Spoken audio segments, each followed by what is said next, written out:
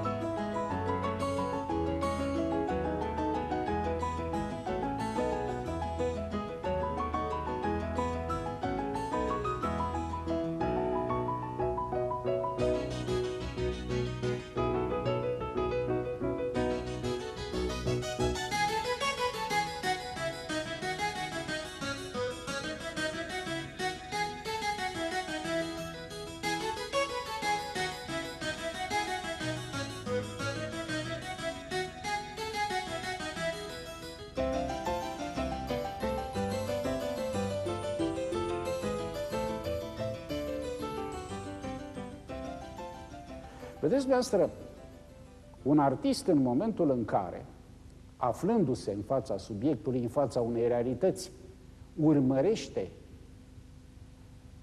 redarea acelei realități, el, de fapt, vrea altceva.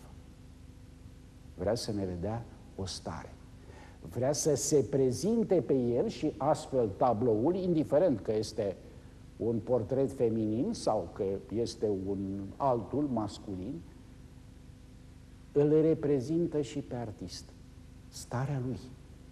Modul în care el percepe un anumit sentiment, o anumită, uh, hai să spunem, uh, tensiune a subiectului, a realității, fie că ea este o realitate umană, fie că este un peisaj.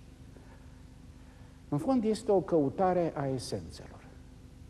Și această căutare a esențelor reprezintă, dacă vreți, trecerea de-a lungul întregii istorii artelor, de la renaștere până la arta modernă, până la non-figurativ chiar.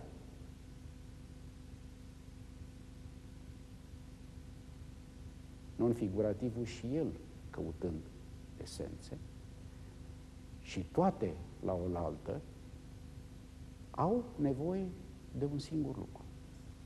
De un personaj, privitorul, dumneavoastră, doamnelor și domnilor, a cărui umbră, iată o să încerc aici, nu se vede bine, aici cred că se vede mai bine.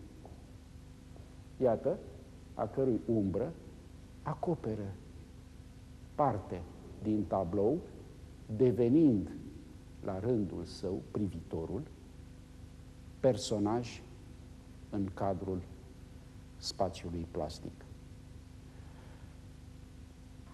Nu întotdeauna umbra se vede pe tablouri, dar ea se poate intui, se poate simți, se poate chiar vizualiza cu ochiul minții, nu cu acesta cu privitul obișnuit și în momentul acela privitorul devine și el parte a unui proces complex în care realitatea este așa cum este ea, artistul este cel care reprezintă un filtru, o prismă prin care realitatea se reflectă în oglinda tabloului ca atare.